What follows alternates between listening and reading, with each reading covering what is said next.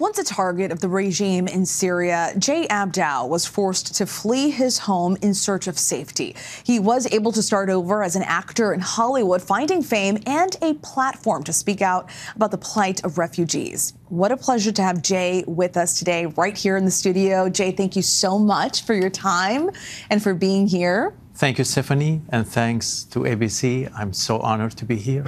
Thanks for giving me this opportunity to speak and to say something meaningful. Absolutely. Now, I know that you wrote an essay for the LA Times that really gave people an intimate look inside the life of a refugee who was able to forge a successful career here in the United States. Let's start with your life in Syria mm-hmm. before mm-hmm. you fled. Tell us about that. I was born in Syria. Uh, I went to Europe, went to Romania to study uh, civil engineering.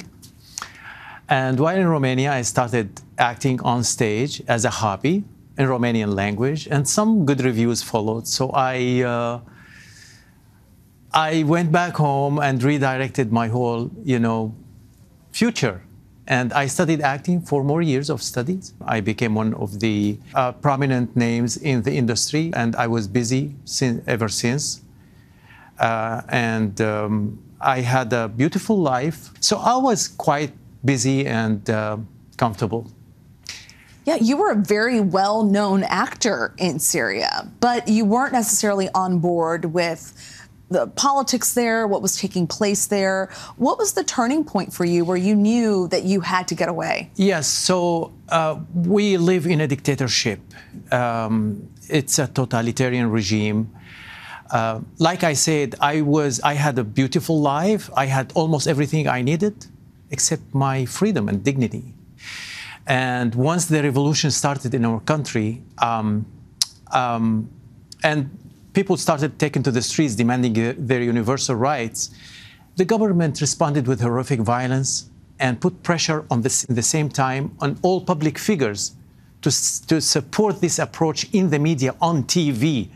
We had to appear on TV and support the army and the president by name the same one who is imprisoning our friends and the intellectuals and the leaders of the so, uh, um, social society, the civil society.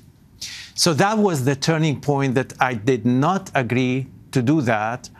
And I decided to leave because if you don't, you are so much in danger. Here in the United States, you, you did start acting eventually, but what did you have to do before that? I mean, it, I'm like any other refugee. I when I came here, I couldn't move any of my assets. I didn't want to move my assets in the first place because I didn't want to leave.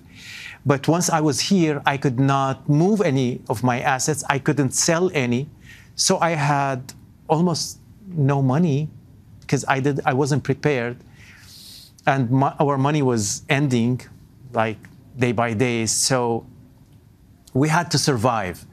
And the problem that we didn't find an apartment, everyone was asking for you know, a previous rent or so we had to pay a year in advance in order to secure this apartment.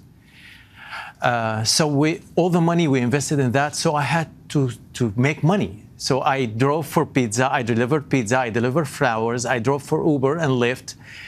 And my wife didn't get her work permit, I don't know what, bureaucracy or papers. So we were like stuck. So every factor was you know, not helping. Right. Let's go back to the essay that you wrote for the LA Times. In that essay, uh, you write uh, that after playing a Syrian refugee in the short drama Facing Mecca, yes. It, it made you believe that you could turn to film to raise awareness about the plight of refugees and highlight other injustices in the world. How are you using your platform to speak about the struggles of refugees just like you now? Yes, Facing Mecca, Bon Voyage, and Refugee. There are three short movies that were shortlisted for the Oscar, and that opened my mind and my heart to speaking out for those who need. Every um, human being, I mean, voiceless being anywhere, you know, and that gave me the like responsibility that now that I reached here, I have to keep on going and being the voice for the voiceless, and especially for those who cannot escape the violence and chaos in their home countries, especially oppressed women and helpless children.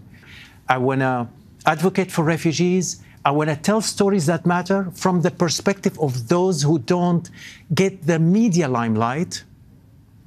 So that's why we have this obligation and honor to tell stories and to change this world. Thank you so much, Jay. Thank you for using your voice to help those who are voiceless, like you said. Really appreciate the time. So nice to meet you. Thank you so much as well. Hi, everyone. George Stephanopoulos here. Thanks for checking out the ABC News YouTube channel. If you'd like to get more videos, show highlights, and watch live event coverage, click on the right over here to subscribe to our channel. And don't forget to download the ABC News app for breaking news alerts. Thanks for watching.